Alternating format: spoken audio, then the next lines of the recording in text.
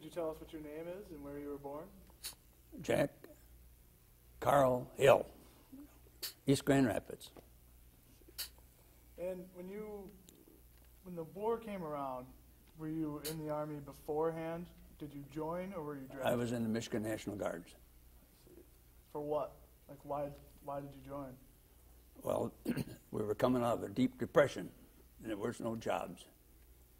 And uh, Colonel Hayes was in charge of the guards at that time, and uh, he knew my folks, and he said, uh, "Why don't you come down and I'll put you to work?" He says, "You can join the guards, and you can make a dollar a week. Come down one one time and um, for a drill." That sounded pretty good, you know. No one else is working, so that's what we did.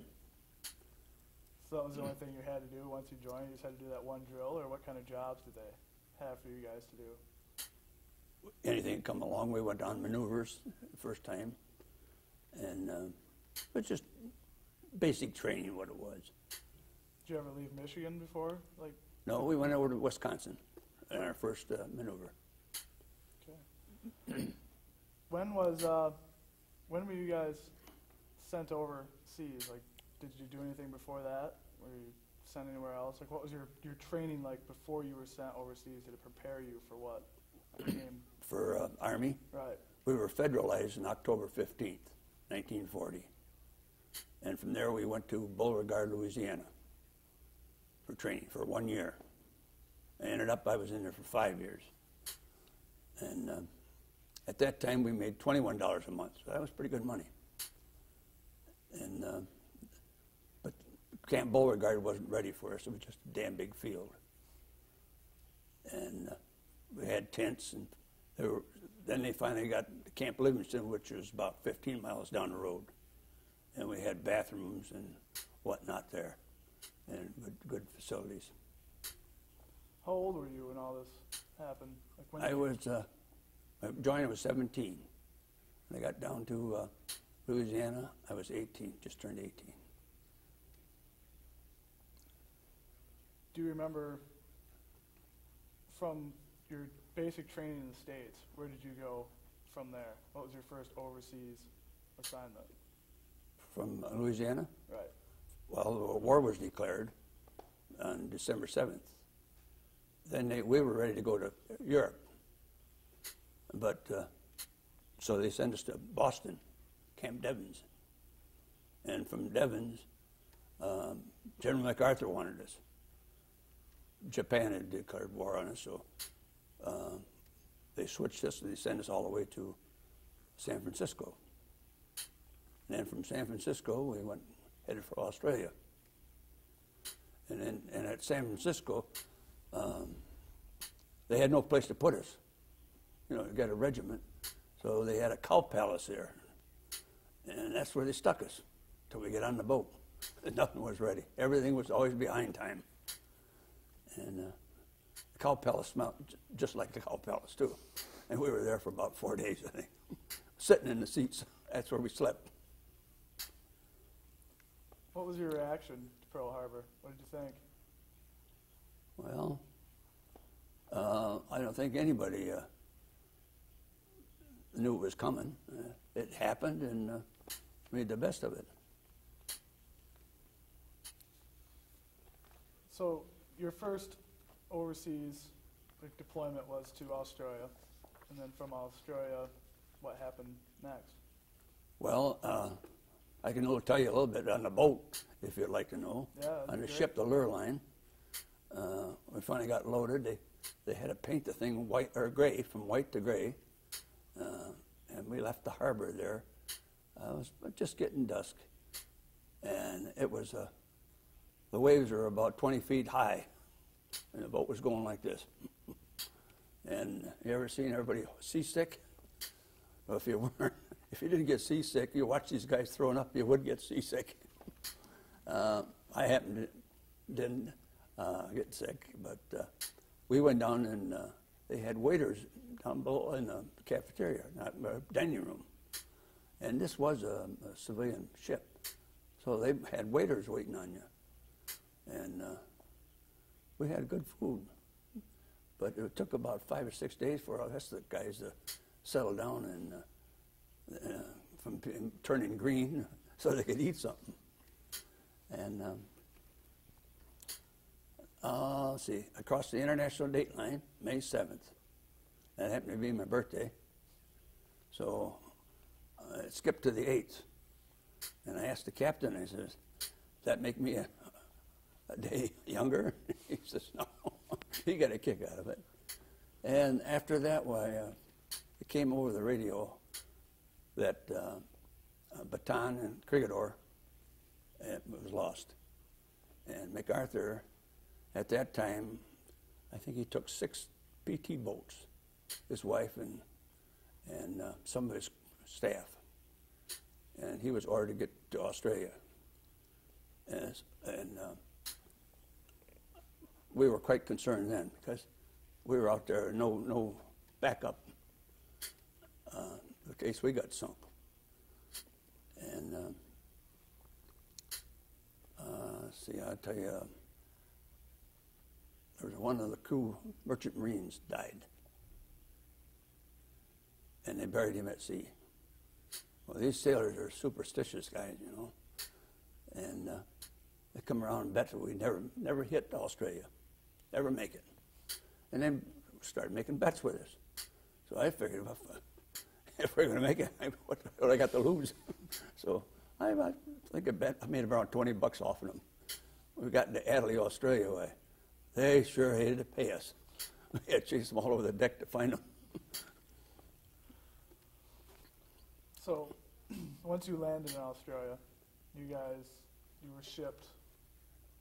You were shipped up north, weren't you? We landed in Adelaide. First thing they did, they put us on a train. And uh, the damn thing didn't go more than five feet and it jumped the track. So they had unloaders. unload. Then they brought some trucks in there. We call them uh, lorries. They're charcoal burners. So it, it took them about uh, 10 hours to get us back to a camp. It was an open field again. Uh, and uh, so we stayed there for a while. And then we took a convoy up to Brisbane uh, and started Camp Cable. What were the Australians like toward you Americans coming into the? we were their saviors. Uh, uh, they, um, their regular army was over in, in Africa fighting, so they only had a few ground troops there left. They had nobody. If the if the Japanese made a mistake instead of going to New Guinea, they should have went right, right to Australia.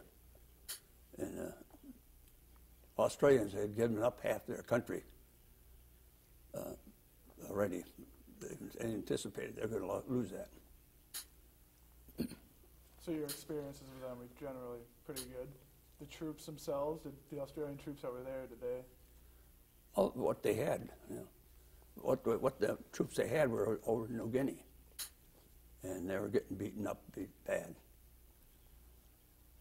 So, from the north coast of Australia, from there you went to, was it, it was Buna, was it, or New Guinea? Yeah. And tell us about your like, experience going over there and what you thought when you got there. Well, we had three three Liberty ships. We had everything got to be by threes. So if we lost one, well, we'd lose everything.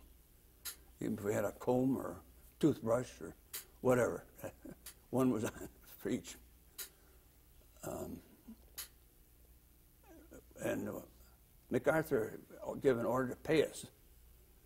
Uh, I don't know what the hell we're going to do with the money. no place to spend it, but so we all got card games and we played cards. And I remember one time that uh, I made, uh, I think I had about five, a little over five thousand dollars. And I went to my uh, major Snipke, who's a good friend of mine. And I said, uh, Snip, I said, you see that five thousand dollars gets to my folks because they could buy a home in Breton Village for about five thousand dollars, brand new.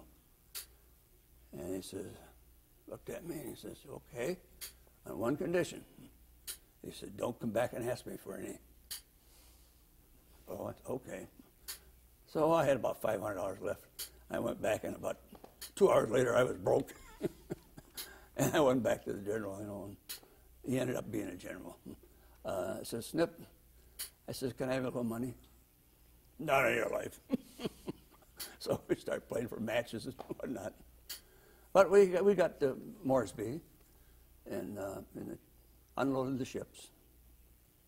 And then we started setting up a camp, tents and whatnot at, at uh, Camp in Moresby. And how? What were the conditions like in that camp? Was it? Well, they're, we were pretty good, uh, pretty good soldiers by then. I think that uh, we could get along with almost anything. Um, we, one thing we had a little shovel, supposed to dig a slit trench or something, and we thought, what the hell, we don't need that, you know. We didn't dig one, but then uh, the Japs used to come over with planes at night, and uh, they were trying to bomb us at the airport. I think it was mostly the air, airstrip. And we would sit there and hold our heads up watching them. Geez, pretty soon our neck would get stiff. You know. Somebody decided, well, we'll lay down and we'll have to bend our necks. That got along all right. And then about two days or three days later, why, they missed the airport. And when the daisy cutters come down, and about 2 o'clock in the morning, I was sleeping. And I woke up, uh, I was up in the air. Everything was red around me. And uh, that blast, you could hear, you couldn't believe it. I couldn't hear for a while. But um, uh, I come down the ground, and you could hear a lot of guys got screaming and hollering. They got really bad, cut up bad. This uh, one guy by the name of Fletcher, he lost his kneecap. And we had a, a doctor here from Grand Rapids. I'm not going to mention his name, but he was one of the bravest guys I ever saw. Uh, I helped him. He, I had a whole tourniquet on him and took the kneecap right off.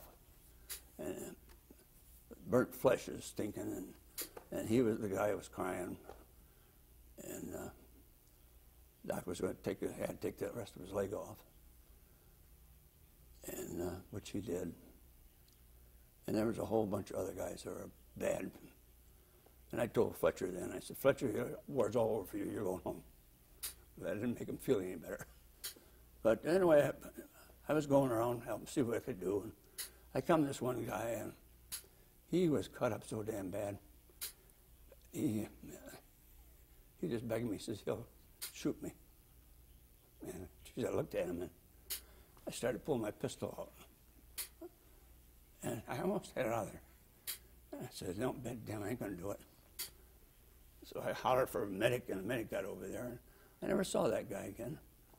And I never know if he made it or not. But, oh, 30 years later, we had a reunion. And I saw this guy, and he, geez, he looks familiar. And he come up to me, and he says, you remember me? And I knew, I knew who it was and I said, you want me to shoot you? He said, just give me a big hug. And uh, I talked to him. He's from Arizona now, and he's married and got three kids. And we sat the rest of the rest of the night there talking, shooting the bull. Do you remember when the first man died in your platoon? Do you remember who that was or how that happened? And uh, well, the first guy we lost is, was Cable. We named a, ca- a camp after him. That was in Australia. Um, in um, um, Port Moresby, or not Port Moresby, but uh, uh, in Buna, going to Buna, we lost quite a few guys. Yeah, I held a, I held a couple guys in my arms. That, uh, captain was Captain Numbers, and there was John Shirley, he was a captain, and they always, um, you know, it seems that um, the commissioned officers got to, got killed quicker, but it just seemed that way, and they always are are are guys that, uh, like I was a I was a corporal at that time, and um, I was offered a commission. Uh, our battle wasn't going worth a darn. We, we were not trained. We weren't equipped right. We didn't have the food. We, we, we should have never been in that battle. we weren't, weren't ready for it. We weren't jungle fighters. We had no training. We had uh, equipment that was for uh, Europe, not for uh, uh, jungle. And we, nobody knew anything about the jungle. The officers didn't either. And that, that, that uh, for the first month there, it was, it was bad. MacArthur wanted to win a battle. He wanted to win that battle, period. And um, we weren't going that way. So what did you personally think of MacArthur yourself? Well, a lot of guys didn't like him. But they didn't realize he didn't have nothing either. He had no equipment. He had nothing. He had just us guys. He, I know he wanted to win that battle, and he, uh, he uh, we had a general by the name of Harding, was a nice guy, and he didn't want us to go against the pillboxes and whatnot. We were getting slaughtered, and we were inexperienced to begin with. Uh, he sent uh, General Eichelberger up, he was a three-star general, and uh, told him, he said, um, I want to go up there and win this, relieve the general that's up there. Um, I want you to win this battle or don't come back. And Eichelberger came up and ready to- he didn't realize what the war was about. He didn't think MacArthur did either. But um, uh, we finally won the damn battle. He told uh, MacArthur told uh, the general, he says, take the sergeants and and um, and the corporals, make them officers. Take the officers that won't fight, relieve them. But uh, he, I don't think we had to relieve any of them. I think all of them were scared. Hell, I was scared. Everybody was scared. Anybody tells you they weren't scared is full of bull. and when he came up there, he had three stars on his on his hat. And I told him, he bumped into me, was, and he said, "Where, where's uh, General uh, Harding?" I said, "Down here." His headquarters was. And he had a staff with him. I said, "General," I said, "You better take those stars off. You won't be here the rest of the day. They'll get you. There's snipers all over the place." And he said to me, he looks down at me. He was a tall guy. And he said, "What rank were you?" I said, "I'm a corporal." He said, "You're a sergeant right now." but uh, he he got things organized, and uh, we finally won the battle. What did you What did you think your chances of surviving were that time? Uh, not worth a damn. I carried a Thompson submachine gun in a 45, and uh, I've gotten a lot of scraps. I was with the Aussies one time, and on the line there, and we were the Japs had us pinned down, and I was firing a Thompson submachine gun, you know, and some of the ammunition wasn't worth a damn either. Pardon my French, but. Uh, I was firing it, and all of a sudden it jammed. So I had to reach up like this and check that shell out. And as soon as I did, I, I had my hand and my finger on that trigger yet. And just old bullets were, and it's Australian. He was looking over to see what's the matter with me. He said, Jesus, mate, he says, you almost knocked my head off. I said, what the hell are you doing standing up there for? well, later on, you know, I got a kick out of him. He got to know him pretty good. Uh, he came back after the war. He came into, uh, into Washington as an observer uh, on the staff. He come to Grand Rapids and he looked me up and he gave me a, the Golden Kangaroo Cross, or not a cross, but a Golden Kangaroo. Kangaroo, and uh, shot the bull and sat and had dinner. And it was interesting. What did you think of the Australian troops overall? You Oh. think they Oh, helped you? damn good. We couldn't beat them. Couldn't beat them. They were, they were going through hell, too. But they're good. They had, but they had equipment like we had. We had to have, we should have had tanks and, and whatnot when we started there, but we didn't have nothing.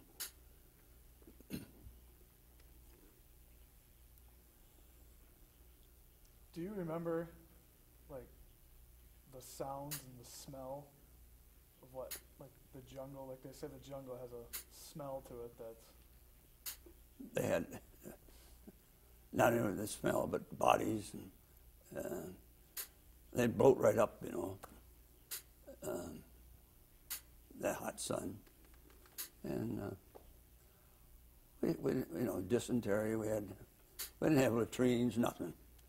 In fact, half the time we didn't even have water to drink.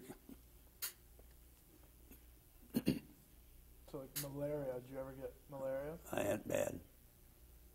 Yeah. I ended up in a field hospital after was after we won the battle. I had another job I didn't like, but uh, I was on a I was on the S four staff, and uh, colonel said uh, we got to do something with these bodies. This was before we even won the battle, and uh, we had so. Um, he says, take care of these, make sure we get some graves started here. And, and he said, I said, well, we're going to get into some, we had some high ground there, so that's where I picked out. Because I'll tell you a little later about, uh, about the low ground. You don't want to dig in that because it fills right up with water. But um, um, we had these graves all set and the body bags and getting these guys, uh, putting them in a bag, it wasn't fun. Uh, we had to have one, we got some crosses and cut one ser- um, serial number in, the, in his bag and one on the, on, uh, on the uh, cross so we know where, who was in that grave. And um, I did that for quite a while. One time, we were doing uh, getting buried with some of these guys, and damn Jap Zeros come over and strafing the hell out of us. And, uh, I jumped in. it's like a slit trench there. I jumped right in the slit trench, in the, in the graves, and uh, on top of this guy. Well, I'm laying in there. Why, those damn Jap Zero are shooting us, or coming about this far above my above me. So I just reached around and pulled the, the body right over on top of me, and I got below him. and, um, uh, but we got that job done. It, uh, the bodies were, it was, it, the stink was real bad. What did you think of the Japanese soldiers as soldiers and people? And fighters. They were ruthless bastards. You know, they, uh, we're up against uh, uh, the, uh, the Japanese Imperial 18th, I think it was the 18th Army. They had come all the way from, they went through China, Japan, or and all the way uh, India, down through there, Burma, into the Philippines. And um, they, they, uh, they were good fighters, but uh, they, they were ruthless bastards. They just got you just like with a bayonet, just as soon as anything. And they were well trained too. They've been through this, you know. We were, they had foxholes at, uh, in um, uh, machine gun pits, uh, bunkers, and they they had brains enough. They had been through it long enough. They they choose the high ground. So, but we were stupid. Were not stupid, but we didn't know. we would dig any place in the low and it would fill right up with water. And uh, like in uh, at uh, Moresby, we when we got bombed that time, why everybody started using those shovels, start making slit trenches in, and they knew what the hell was going on. And but we made a great big bunker, cut down uh, some coconut trees and put a top on it, you know. And we thought, well, hell, that'll take a take a bomb. Well, little did we know, they come over and start bombing us again. And would jump in that damn thing, it's full of water, like that. And all the mosquitoes in the world in there, he's having a field day on us. So after that, why, we, um, we waited till we heard the whistle of a bomb coming down. and we knew it was going to be close to us. So then we'd jump in at the, with the mosquitoes. But uh, uh, we, we learned. That was just something that we didn't know. So what about prisoners then? Pardon? Prisoners, like, Oh, okay, I'm going to have a drink in a minute. Okay. We'll break here. We should probably move on from Buna and start going to off on the Australia. interviewing, are you gonna, Luke, are you gonna do all the questioning, or? uh, he's been writing questions, Oh, okay. guess we Yeah. kind of, Yeah, feel free to, you know, both of you ask questions if you want.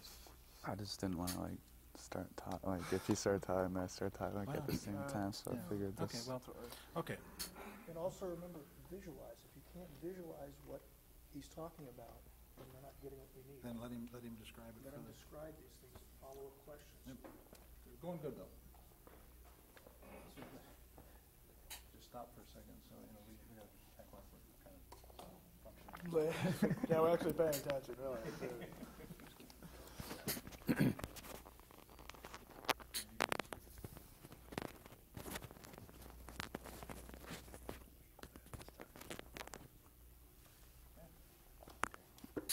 Yeah, it's hard to remember all that stuff. you know. So are we all good now? So like, would they just refuse to surrender them? Was there like prisoners or? No, there was a.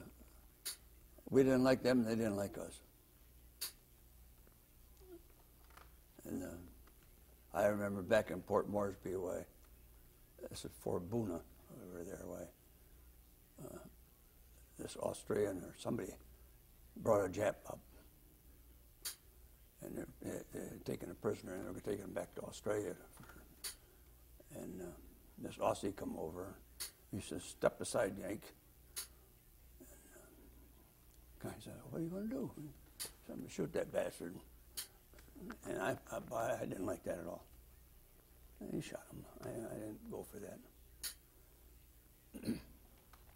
Afterwards, why you get to know what they're doing to you. Why, it's a different ball game then.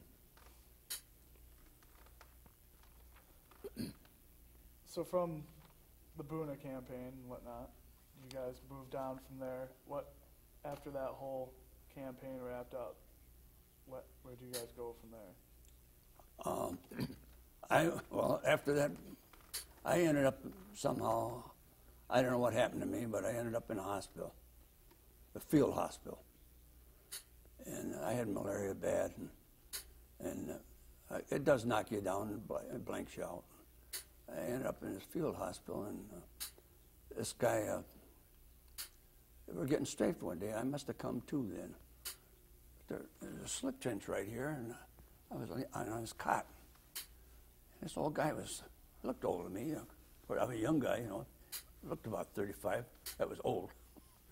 And uh, he says, Jack, he says, you're in bad shape. He says, I want you to make sure you take that Atabrine. And he said, if you start to throw up, I want you to put your hand over your mouth and swallow it. And you keep doing it. And I said, okay.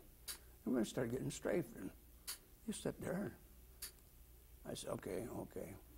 Most of the guys were, in the, they could, were getting in, you know, slit trenches or, uh, there. And I got to thinking later. I said, one of the guys, oh, who was that old guy? He said, what guy? So I had a guardian angel. And uh, it was, uh, I think he was with me all the way. Because I could have got killed about a hundred times. I should have gotten killed, but I didn't. What was a slit trench? What did it look like? Well, you dig a hole. If you want, didn't want to go down because of the water, you dig it this way, just so you could creep up and get in there, about four feet down. So when I got strafed way, or uh, the Jap was shooting at you, he couldn't hit you. it's just a safety net. What was religion like, like in your guys' Pardon? platoon? Like religion, what was it like in your platoons? Were like there are a lot of Christian guys over here, and the guys. Oh, there, there, I tell you, get in there, you're going to be a, you're going to be a Christian in a hell of a hurry. um, mention that way. We had a priest. They, uh, they named him the Jungle Priest from Wyandotte, and I can't remember his name now. Uh, he got hit, and uh, this is the first part of where in New Guinea. Um, so we, we, uh, he had his little bag there, and there's two bottles of wine. So hell, we we figured he didn't need those. So Gedris and Sawicki and I decided to have him drink them, and they're both Catholic. I wasn't. So then they started feeling guilty the next day. Oh, we better go see the Padre. So I said, well, I'll go with him. We went there, and there's the old Padre. Never started a confession you know, to him, but and I said, well, it was really my fault, Padre. I said, I'm the one that got started. And he said, oh, they said, that, don't worry about that. That was just wine. You know, they, they do their thing over the wine for the blessed whatnot. But uh, uh, you're, you're, I think everybody's a Christian then. So did you not go back with the division back to Australia for that year? I was with, yeah, sure. I was probably one of the oldest guys with the outfit. Uh, I made every landing. We landed uh, from there. We went to uh, Saidor. Then we went to uh, Aitape, Hollandia, Morotai Island, and from there to uh, Leyte. And uh, I made. that was with the longest, I think. What were those campaigns like, as in comparison to Buna? Let's start with Saidor. Oh. Saidor. Yeah. Um, we had more equipment. We had better equipment. We had something to eat. we had more equipment. And uh, MacArthur was getting his, his things in. And uh, before that, MacArthur had nothing. But uh, we had planes and uh, we were coming up good. Uh, Saidor, there, uh, we had to go in by barge. And uh, we had we had practice in it before that. We went to Newcastle in Australia and we practiced on barges going in and whatnot. And I learned one thing when that barge went down: why you make sure you're going off it, that you're not going off uh, in deep water, which they, would uh, happens a lot. See? And we had a guy by Al Sawicki. He was short, and uh, we always jumped him in first. If the water come up too far, we'd pull him back. And uh, at one time, yeah, we were way out, out of line, and I talked back to the guy and said, hey, get us in for a closer. He said, I'll get they're afraid of getting bogged down. And uh, I call them uh, damn uh, Navy guys. He said, don't you call me a Navy guy. He says, I'm a Coast Guard. we laughed about that one. And, uh, but, uh, yeah, we got, we landed, the first landed, and uh, we set up a headquarters there, had a radio, and uh, turned the radio on, and here, here comes Tokyo Rose. She said, uh, uh, we know you're here. And she says, why don't you just surrender now? She said, we're gonna, we're gonna be over tonight. We're gonna bomb the hell out of you. And she was right. They did. And well, it's uh, I, I got it written down how many days we're there, but uh, it, it worked out pretty good. At least we had hammocks to sleep in, and uh, we set up a perimeter with uh, cans. The, the pigs used to come around and they'd rattle the cans, and and we think right away it would be they were coming after the Japs were coming back, counterattacking, but. Uh,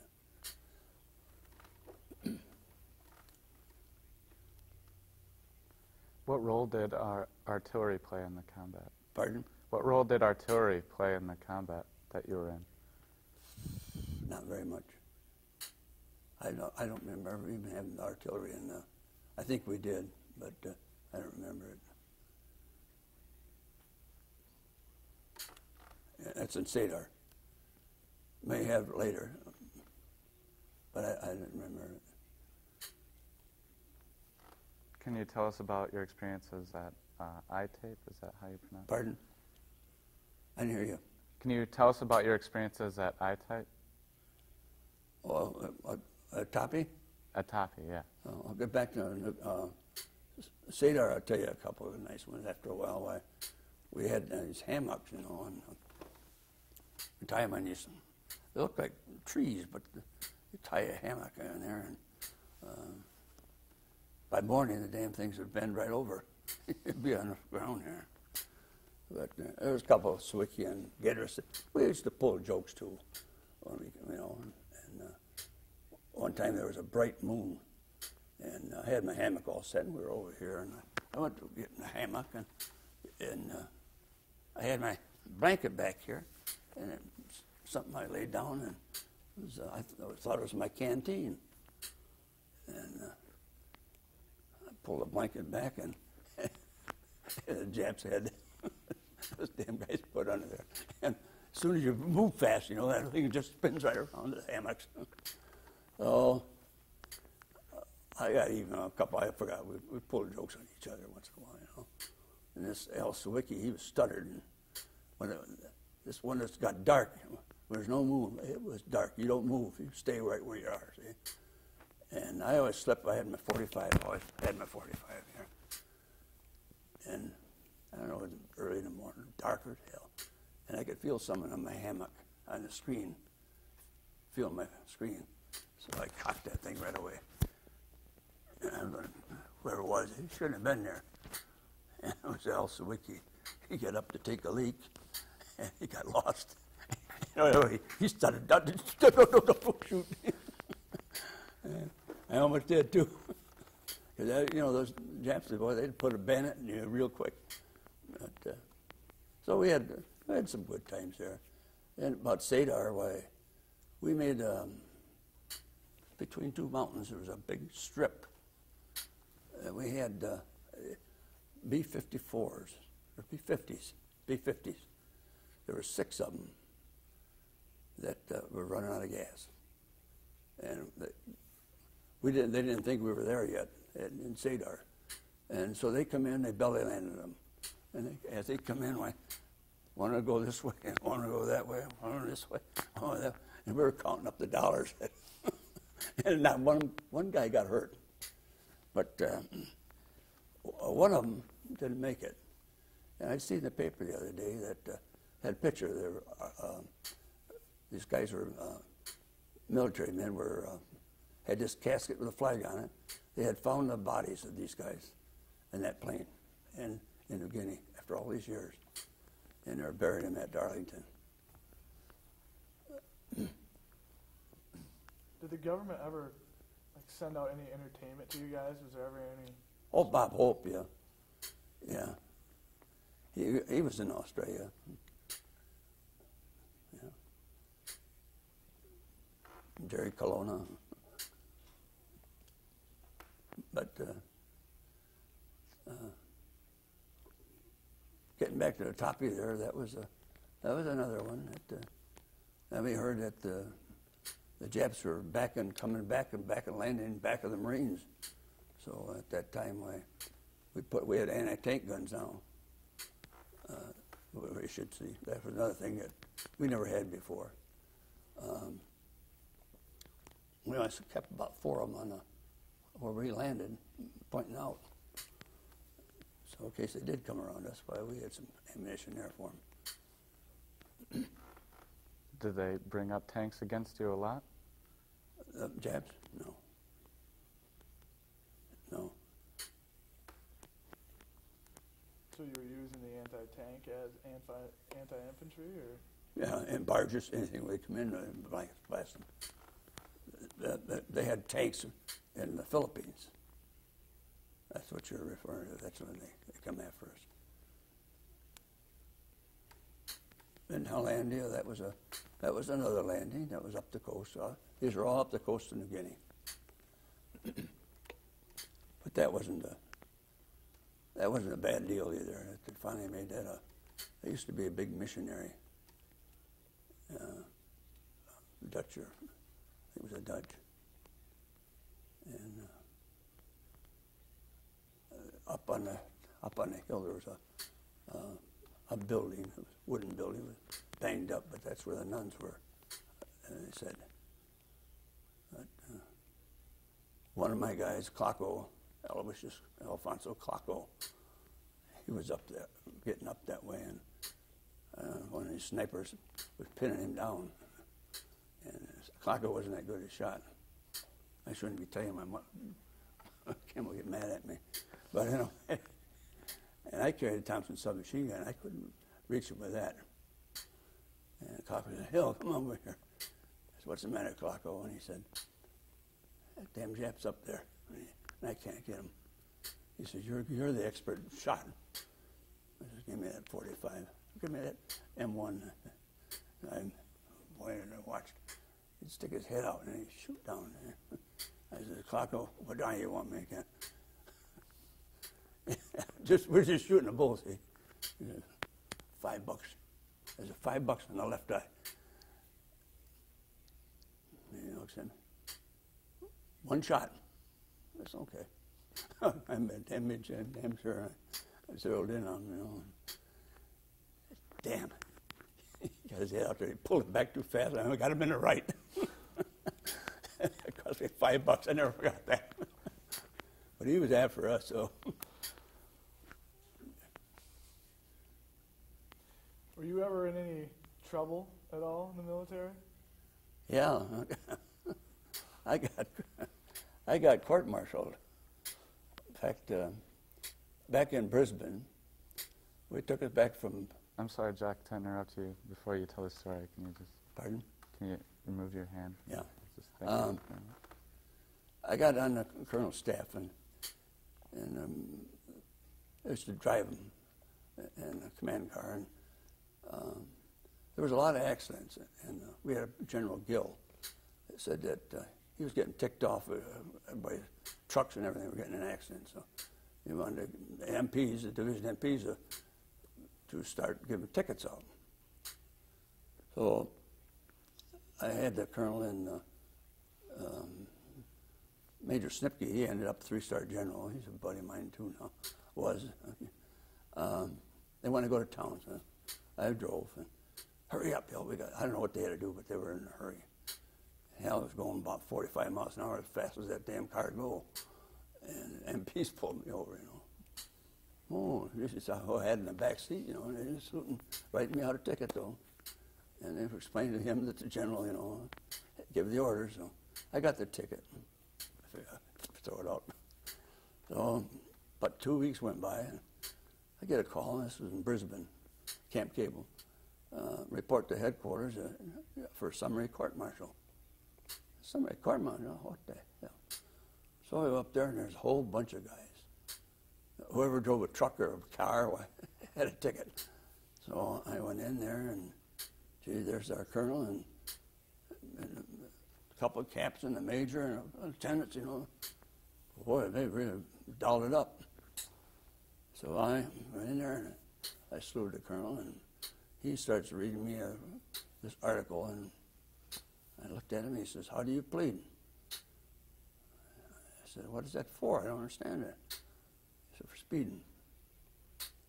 I said, "Guilty." you know, he's with me. So he reaches up and gets his hammer, and knocks it down there, and I fine you fifteen dollars reaches in his pocket and says, here's, here's my hat, Jack. that's the kind of guy. He got killed, but that's the kind of guy he was. Real, real prince of a guy. He was a West Pointer, and, and uh, he, uh, he uh, first when he first joined us, he didn't think much of the National Guards. you know, he was a regular uh, Army guy, but he got to like us all. But then uh, I got, I got, you want to get court martial? I got another one. Eh? I was in, the, we're in the Philippines, and uh, we had all the, we had aircraft carriers, battleships. Uh, uh, you can't believe what we had there. We had a whole navy, and uh, I looked out there at dusk. I said, God, I can't believe it. We're going into Leyte. And uh, my barge was the first one going in. So we went down the rope ladder and, and got in the barge. And uh, I said, what the hell? There can't be anybody alive. And they're blasting away. And, uh, got in there and some of my guys want to go down the road. I said, stay off that damn road. We're going down in the, the bushes. And that's where we went. And the Japs were, they were there. And uh, so um, we got in there. We got headquarters. and we started making the drive. And well, two or three days later, why, I um, was up in the front. And I had two, two of my buddies. They had we had two 50 caliber uh, guns, aircraft guns. And I knew, and any guy had experience knew a Jap uh, engine. They run reversed. The sound and all the other different. And it was pretty nice light then, just getting dusk. And uh, here comes this damn Jap bomber or transport. We couldn't tell which it was, but we knew by the engine. And uh, the two buddies said, uh, Hill, what do you want to do? I said, take it. Jesus, every, every, every, every other bullet's a, a red tracer, so you, you know you're, you're hitting it. See? And they just riddled the hell out of it. You could hear it spit and sputter when it by us. And oh, about 10 minutes, 15 minutes later, up comes a colonel. Oh, Lord. You could tell by the nice uniform he had on, khaki. He didn't have old greens like we had. Who gave you order to shoot one of our planes down? Uh-huh. I said, I did, but it wasn't, it wasn't one of ours. It was a jet plane. He says, that was uh, one of our planes. He says, all our navies out there, they all got uh, radar equipment. And you give, did you hear them firing? You give the order to shoot one of our planes down. He says, you're going to get the biggest damn court martial this Army's ever had. He said, I thought, holy crap, maybe I was wrong. he said, I'll be back tomorrow morning. Said, don't you leave this spot. Turned around and went, oh boy, two gunners, it was my fault, you know. And they felt sorry. And I said, Jesus, I swear, that was a Jap. You never know, he convinced us. But what he forgot, that it was a Jap bomber, and it was below the radar. He was coming in low. Well, and when he come up the next day, next morning, and he said, uh, Sergeant, he said, that was a Jap bomber, or Jap transport bomber. He said what they were going to do is try to take the airfield back. And, uh, and he says, uh, I'm going to put you in for the medal. I said, I don't need a medal. I said, I'm getting the hell out of here. I was mad. I just, you know, I felt real bad all the rest of the night. Uh, kill, kill your own guys. Uh, so I went to our General Gill, and he had that order out now. He could keep you if you had a court martial, a summary court martial. In other words, I had points. I had 300 some points. It only took 125 to, to get home, to get on the furlough or go home for permanently, rotation, what you call it today. And uh, but I couldn't. I had all those points because he wanted to keep us, the seasoned guys. So we, when we went in Japan, we had he had seasoned guys, and uh, so I went up and told him. I said, General, I said he knew what happened already. And he says, I'm going home on that furlough. He says, I don't blame him. He says, there's a Liberty ship out here. He says, you can be on it and you can uh, go this afternoon. I got the hell out of there. Get on this Liberty ship, and I think I'm going right back to the States. Geez, I should smell some nice bread, you know. And I went over and I said, can I have a slice of that bread? I haven't had a slice of bread in two years. No, no, can't do that. Couldn't get one, so. They had some, I had a cup of, cup of coffee, and we were out there, I don't know, a couple hours, and all of a sudden I look up, and here comes this goddamn jet bomber right over the stack. with the bomb. I looked up and there's a bomb bay, doors open, and that bomb. I could see that damn bomb, and I thought to myself, "This is the way I'm going to get it on the way home." Well, he pulled that button a little too late, and it went right over the bow. And boy, what a blast! And then he circled, and he's going to come in the side, hit us in the side. So I got on one gun, and one of the other guys got on the other gun. They were 50 calibers, and we know how to work them. And we had both of those guns, every damn bullet going right up, what, deadhead right onto them. And I'll bet it wasn't 200 yards away from us. I kept thinking, what the hell's keeping him up? He's going to end up hitting us. And all of a sudden, we blew him up. And this time now we're we're mad as hell because they didn't have anybody on the ship to take care of that stuff. And we went and find the captain. It was an ensign. Uh, he was a young uh, black um, sailor, captain. We call him the captain. And uh, he says, "This is my first time out." And we were surprised that uh, he was, you know, because very seldom you see a black officer. And um, I said, well, whatever you're doing, just get us going. I said, if he radioed back, well, we're going to have some more problems. And uh, so we'll take care of the guns. And uh, okay, he, boy, he had radioed down that damn Liberty ship was going like hell. I said, where are you headed for? Well, he said, we're going back to, I'm headed for uh, Hollandia, New Guinea. I said, you're not either. Yeah. I'm supposed to go to the United States. well, that we went. But we didn't get hit again. And we made a safe trip. But anyway, getting back to that bread, you know. I says, you know, I, I like, sure like a slice of bread. He said, I'll give you the whole damn loaf. Two guys. So we got some bread. But we got back to Lindia. And then we waited and I had to get on the Lurline. The Lurline come in, wait for that. That was going to the United States. But there's a whole bunch of Canadians on there. So we get on the, Lurline. That's the big ship we went over, come over on. And it's going back to Brisbane to take these sailors. so I went back to Brisbane. Well, I ended up, I was in the hospital. I never made it any further. I didn't even get off the boat. And uh, then we sailed back to the United States. But uh, another little cute little story. I don't care if you tell it or not. But this captain of the Lurline, he always said, if a man goes overboard, we're not stopping to pick him up. That's, you know, you have subs. Here, this guy, we had a couple of guys that were um, shell shocked him, and he had his just a pair of shorts on, white shorts.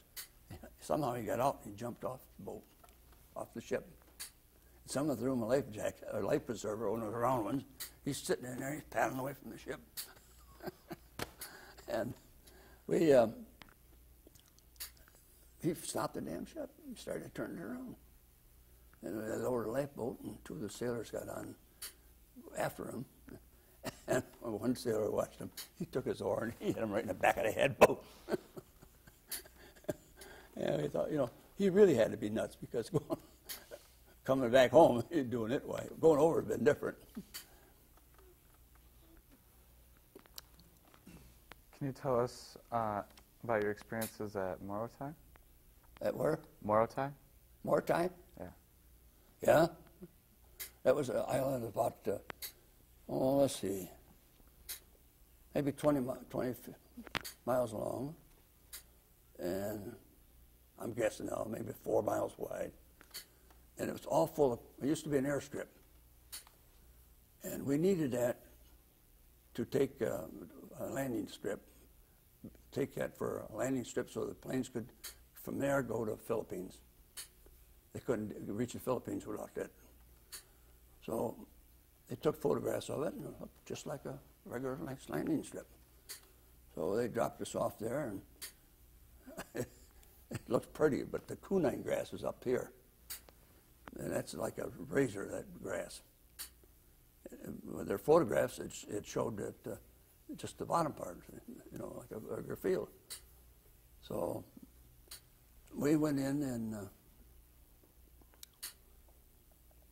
hacked our way in there, and about uh, halfway uh, in, why we set up a headquarters. And uh, colonel said, "Well, where are we?" And I said, "Right about here, sir." I had the maps. And, oh, okay. He said, How'd you know that? I said, "I got the map." Oh, he was our our West Pointer, and he always says, when I got his job, I got the job for him, you know. He said, Jack, I want to tell you one thing. When I ask you something, don't ever, ever tell me you don't know. You say, I'll find out. When I told him that, you know, he looked at me.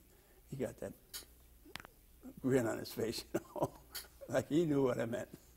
Uh, he was just, I didn't say I don't know. But uh, well, we took that.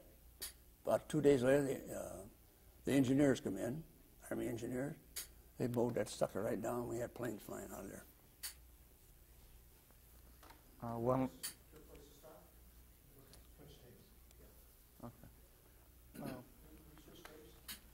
You need more water? Yeah, I'll take a look. Sorry, 'cause I- I don't know. That's my job.